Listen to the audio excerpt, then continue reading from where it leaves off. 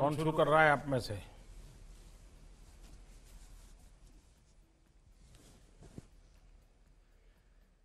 Jain sir? Jain. I am Kiran Shruti sir I am from Tamil Nadu sir I have done my engineering sir and I am from Tamil Nadu cadre sir in my cadre I generally found among the police profession there is a lot of stress and mental uh, stress. So in Tamil Nadu, what they have done is they have introduced a program called well-being program sir. So all the police personnel from constables to the DG, they undergo mandatory counseling, sir. If there is any problem in their personal or professional lives, then they receive counseling, sir. Because of this, all uh, they find that their stress is reduced, and they find that they are able to do their work with much more energy, sir. And they find that they are much more enthusiastic, motivated, and happy to do the job. And the public also feels that because of this, they find the police much more easier to engage with. This I found very impressive, sir. Jain, sir. Vanakkam Vanakkam, sir. तो आपने engineering छोड़ करके ये रास्ता क्यों चुना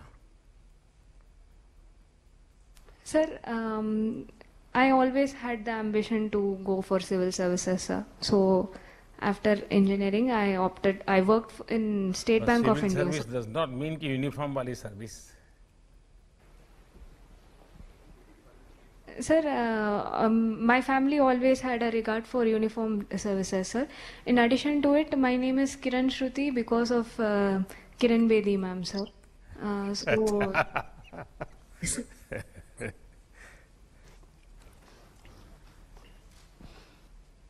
आपने एक नया विषय बताया, मुझे लगता है जो बाकी आपके साथी हैं, उनको भी वेल बीइंग ऑफ़ कैडर कोई न कोई इंस्टीट्यूशनल व्यवस्था। मैं समझता हूँ ये एक अच्छा प्रयोग है, क्योंकि सिर्फ़ पुलिस नहीं, कोई भी काम। अब बैठिए बेटा हाँ। कोई भी काम आज की ज़िंदगी में इतनी आपाधापी है और जिसके कारण तनाव भी रहता है वर्कलोड भी रहता है प्रेशर रहता है और हर किसी को रहता है।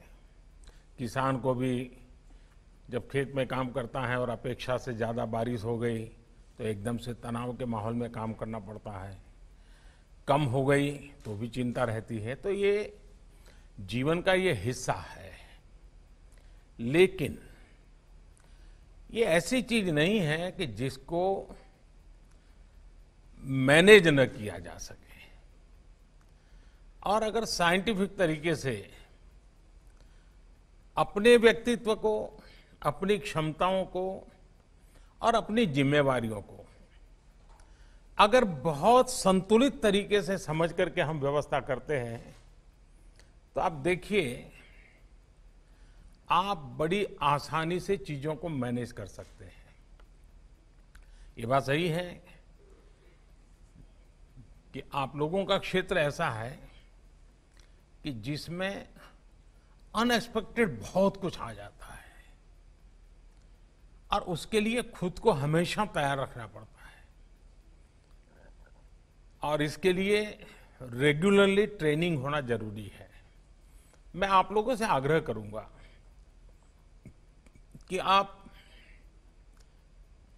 जब फ़ील्ड में काम करेंगे तो पुलिस थाने के लेवल पर वहाँ पर 10-12 लोग, मान लीजिए आपका महकम है तो उस इलाके में कोई न कोई ऐसे लोग होंगे जो ऐसे विषयों पर बड़ी सरलता से बातें करते होंगे। कभी पंद्रह दिन में एक बार, कभी महीने में एक बार, घंटे भर के ऐसे महापुरुष को बुला लिया। अच्छे टीचर हो सकते हैं, कोई और अच्छे ज्ञाता हो सकते हैं, और वे आकर के ऐसे विषयों पर आपसे गपशप करें, बातें करें। बार बार आपको स्मरण होगा कि हम अपने आप को कैसे ढाल सकते हैं, मैनेज कर सकते हैं अपनी व्यवस्थाओं को। दूसरा जीवन में मैं हमेशा तनावपूर्ण जीवन जीने वालों को हमेशा आग्रह करता हूँ। योगा, प्राणायाम, ये बहुत ही सिद्ध। अब तो आपको वहाँ पर मजबूरन भी किया, करना पड़ा होगा। सुबह उठ उठ करके जाना भी पड़ा होगा। मैंने भी उस मैदान में योगा किया हुआ है, जिस मैदान में आप लोग करते हैं। आपने अनुभव किया होगा कि अगर मन से करते हैं, पूरा मन उसमें जोड़ देते हैं, ये कितना बेनिफिट करता है। और तब जाकर के आपको ये तनाव कभी महसूस नहीं होगा, काम कितना ही होगा, आप हमेशा प्रसन्न और आनंदित होंगे।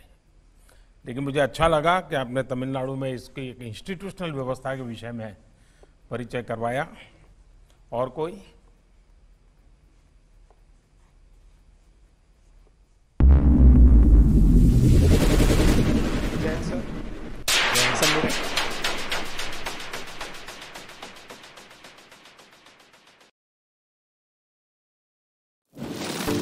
इस तरह की और खबरों के लिए सब्सक्राइब करें हमारा चैनल फोर्थ आई न्यूज़। साथ ही बेल आइकॉन प्रेस करना ना भूलें ताकि हमारी हर खबर सबसे पहले पहुँच सके आप तक।